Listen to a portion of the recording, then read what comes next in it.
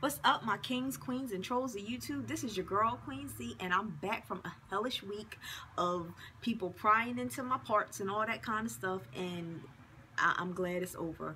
I will say that I'm glad it's over, and I'm glad to be back to talking to you guys. I have an Ask Queen C that I want to read today because I was scrolling through my emails, and I stumbled across this one, and I just thought, hmm, wow. Now, you guys know um, I, I talk to you guys a lot because I want to help people. You know, I want to um be an open book to people, you know, so they can learn from my experiences. But outside of you guys, I don't just run my mouth to, to random people and tell people my business because a lot of times when you share stuff with people, they try to find ways to use it against you when they're haters. And I've stumbled across quite a few haters in my lifetime, and I've stumbled across people who have tried to use information that I shared with them um to try to throw it in my face. And so with that being said, you know, when I share stuff with you guys, I'm really sharing it with you guys because I'm hoping that, you know, it'll do some good instead of giving it to somebody to try to do some bad. So anyway, here we go. Hey Queen, it took me some time to come up with the nerve to write you. Even though I can be anonymous, it's still a little embarrassing to talk about. I was diagnosed with PTSD after being in a place where multiple people were shot and killed. It's been over two years and I'm doing a little better, but there are still some things that I'm afraid to do that give me anxiety. My issue is I don't want to be dependent on drugs, so I'm doing my best to handle this without medication. The problem is friends and family think I should just be over it. They tell me to just take the drugs like it's nothing so I can do things they feel I should be able to do. I just want to heal on my own in my own time. Do you have any thoughts you could share with me? Signed, I'm still going to stay anonymous. Actually, yes, I do. Um, first of all, let me just say, you know, I, am I'm, I'm very sorry for your experience. Um, that that has have to be had to be very very awful to see, witness, and experience something like that. So I'm I'm very sorry for that. Um, and honestly, you know, I, I'm choosing to read this email because I too was diagnosed with post-traumatic stress disorder, which is also known as PTSD. And this was a while ago. I, I will give you a little bit of history. I'm not going to go too deep into it because it's still too much. But um, basically, um, my nephew um, passed away in a car accident, and the accident that he had gotten into um, basically I was on scene to see it was myself, my husband, and my youngest child. He had just left a party where he was at with my oldest daughter. So I was on my way to pick up my oldest daughter when I stumbled across this accident and I had no idea that my nephew was the one in the car. And when I say that I was like one of the first vehicles on scene to this accident. I, I, I, kid you not. So it bothered the hell out of me, number one, that this happened. Number two, that, you know, I didn't know that it was him. So I could have gotten out the car and got to him because by the time I realized it was him, I was heading back in that direction. And at that point, all the police had arrived and they had shut that whole road down and I couldn't get to him. I tried. So, you know, it bothered me. So either way, um, after all this happened, you know, I I I, I kind of you, you're kind of like in the twilight zone. That's the best way for me to describe it. You're you're like in the twilight zone. So you know all these things are going on. You know, like I said, my husband was there for the for the scene. My youngest daughter was there for the scene, and then my oldest daughter. They were only three months apart. They grew up like brother and sister. So everybody is impacted by the situation. And then of course you have his mom. She's impacted by the situation. So me, you know, being um the type of person I am, I, I, I just you know, every day I just was trying to, to, to do whatever I had to do. I, I, I was busy. I, I, didn't really like sleep. You know, I, I was just crazy. I was crazy as hell. I'm not even gonna lie. I was crazy as hell. And, you know, through going through all this and, and then, you know, going with through the arrangements and all that kind of stuff and having kids at my house. There was people at her, her the mom's house and like, you know, just all, I'm all over the place. Once things started settling down, I don't know what the hell was wrong with me, but I kid you guys not. I probably was in the emergency room about 15 times.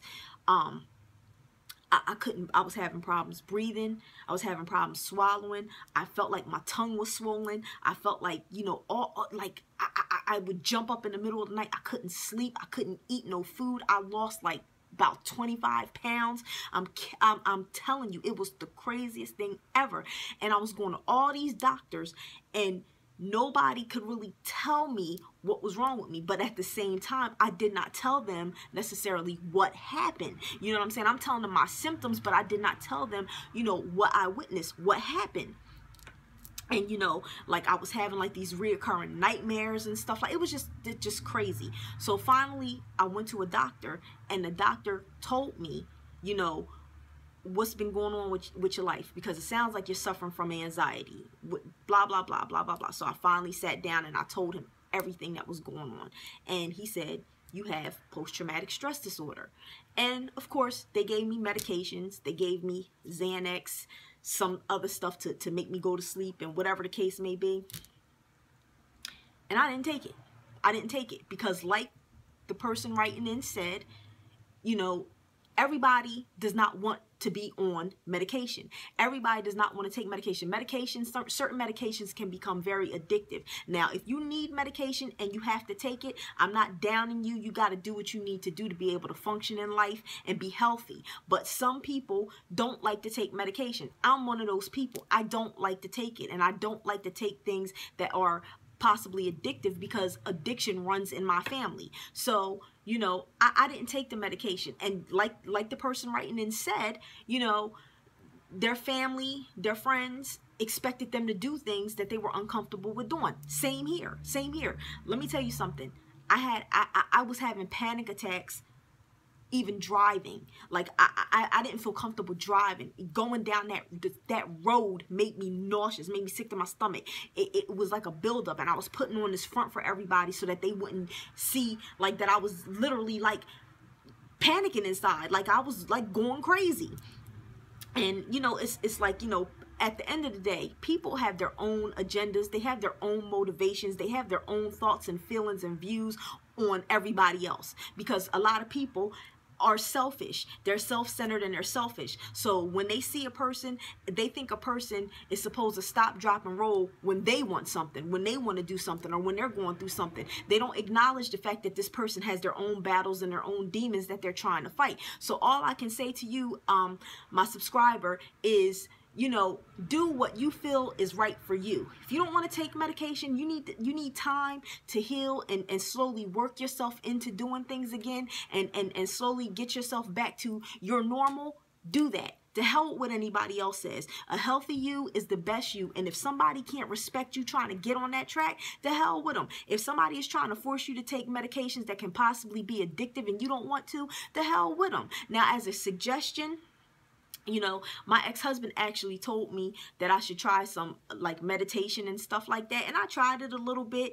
Um it helped me a little bit but I, I didn't stick with it but perhaps that might be something that you might want to look into you know um just just trying to meditate and clear your mind and stuff like that. I'm a very strong-willed person and um once I'm challenged to do something, like I, I, I, I'm like one of those people that I'm always in like battle mode with anything. Like once it becomes a challenge, I'm like, you're not to get the best of me. I'm not to let nothing get the best of me. Not no PTSD, not no people, not nothing. Like if it's a challenge, I'm like, let's get it, let's get it. You know, I'm on like, mm, mm, what?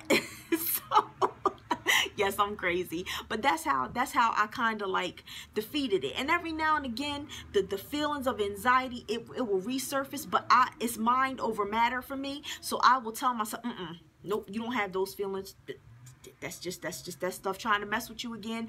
You know go ahead block it out tune it out. And it may not be that easy for everybody. Like i said some people do need that medication. And i'm not knocking you. I'm not knocking you. If you need to take the medication for your post-traumatic stress disorder you go ahead you get your cup of water and you take your medication. I'm not i'm not knocking you for that. But for some people medication is not always the answer and for those that you know don't want to take medication like i said go try some natural remedies. Um I, there was something that i had taken i can't remember the name of it. I'll post it in the comments when i go home um so you can um see what it is, but it was like a natural common drop um, that I got from Whole Foods that helped relax me. I would put it in my tea and stuff like that. Like anything just to relax my nerves that wasn't like, you know, addictive or anything like that. That That's what I chose to do. Like I said, a little bit spurts of meditation here and there and basically just taking my time and not allowing anybody to pressure me into doing anything I didn't want to do. If I didn't want to drive, if I didn't want to go somewhere, if I didn't want to be out in public, I just won't do it. I won't do it. I'm not to let anybody make me feel guilty for trying trying to take care of me. I have two children. I have a husband. They come first. So I need to do the best that I can do to take care of me so I could be a good me to them. Bottom line, you got to do the same thing. Be the best person you could be for yourself. To hell with everybody else's opinion. Um, I hope my thoughts helped you. I hope my thoughts helped anybody else that might be out there suffering with post-traumatic stress disorder. Um, join the club. I think a lot of people suffer from it and don't even realize it.